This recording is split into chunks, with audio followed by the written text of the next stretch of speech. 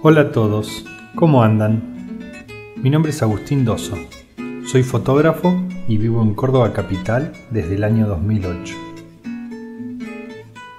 En esta oportunidad aprovecho la invitación de Cultura para dejarles un pedacito mío. Con la guitarra de mi amigo Juan de fondo, les invito a recorrer registros en el mundo de la danza teatro.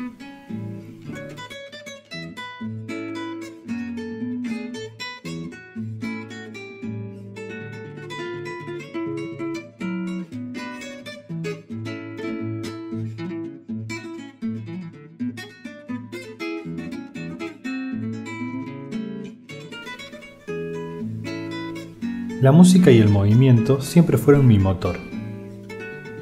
Y esa inquietud que tengo desde chico encontró en este ambiente un lugar cálido, humano y hermosamente diverso. Cada experiencia, cada registro fue acompañar y conocer a un grupo de artistas y todo ese detrás de escena de cada proceso. Poder estar cerca de sus personalidades, que luego pasaban al escenario y se transformaban en protagonistas de la noche, hacía que el hecho de dejar congelado un movimiento sea una cápsula de tiempo que me lleva el día de hoy a viajar por estos recuerdos.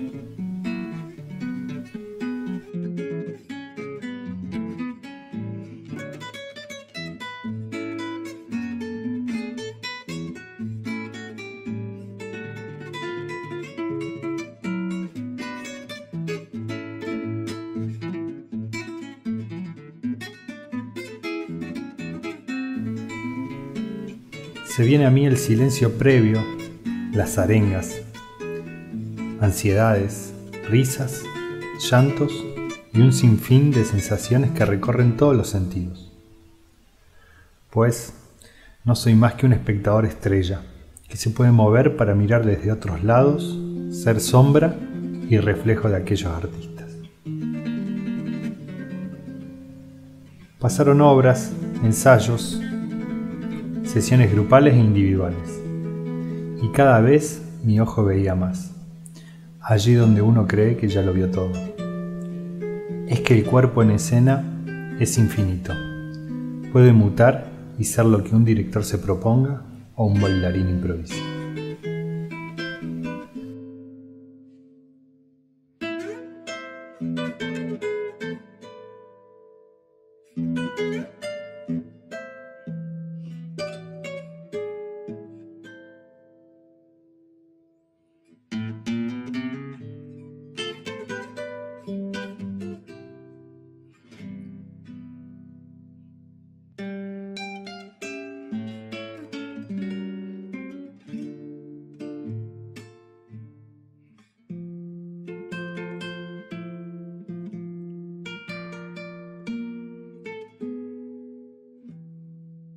La danza es movimiento, saltos, impulsos y secuencias que empecé a registrar en video. Ahí me di cuenta que había mucho más. A veces utilizando ráfagas de fotos para luego reproducir un movimiento y otras tantas grabando improvisadamente, sosteniendo la respiración por mi pulso y adentrándome tanto en lo que veía en la pantalla que me olvidaba de todo y de mí. Por eso verán acompañando estas imágenes fragmentos de danzas y encuentros entre la cámara, los movedores y quien les habla.